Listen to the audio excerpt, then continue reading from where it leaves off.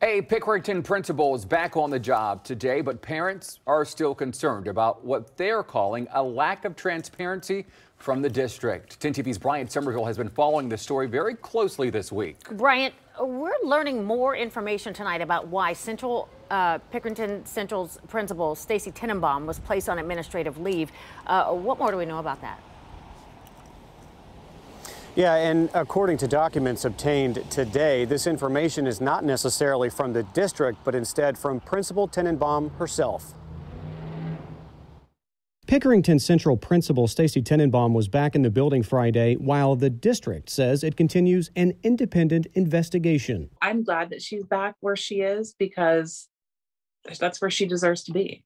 10 TV News talked with Central Mother Leslie Gilligan Wednesday after she says the district was less than transparent about why Tenenbaum was placed on administrative leave in the first place.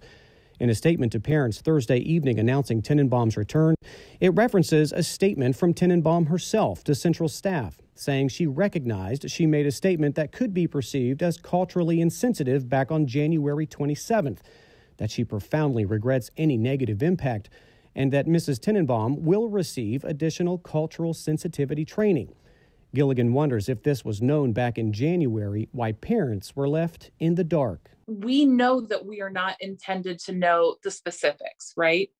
But it seems very clear that the district chooses when and where to share details and where they don't. 10 TV obtained the statement Tenenbaum sent to her staff, where she says on January 28th, she informed the district she had made a comment that was perceived as culturally insensitive in reference to an interaction she had with a student.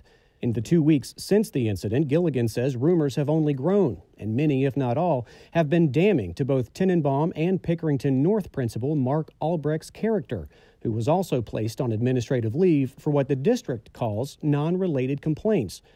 Rumors, Gilligan says, the district could have absolutely squashed. And what they're doing is they're taking an administrator who is 30 years in the district, near 30 years in the district, and dragging her name through the mud for something that she had integrity enough to go and report herself. Now, I did ask the district if there was any kind of an update concerning Principal Albrecht's situation. I was told because these are personnel issues that the district's attorneys are now handling all responses. But when I asked who these attorneys are and how to get in touch with them, I was not given a reply. Guys? Well, Bryant, you've covered similar personnel issues with this district that were handled differently.